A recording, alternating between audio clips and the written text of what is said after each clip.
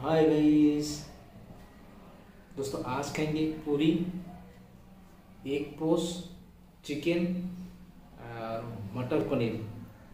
बहुत स्वादिष्ट है। चलिए दोस्तों, खाना शुरू करते हैं। वीडियो अच्छा तो लाइक शेयर कमेंट ज़रूर कर देना।